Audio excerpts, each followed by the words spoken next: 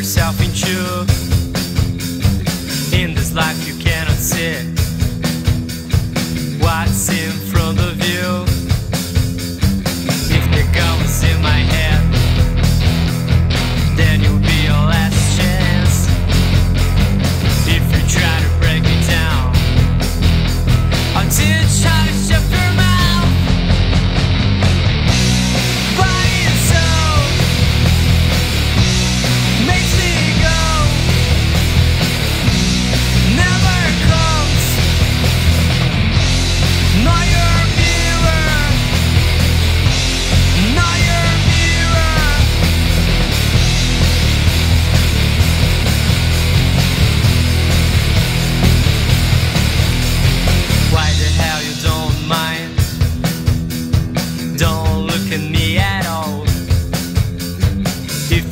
spit it out.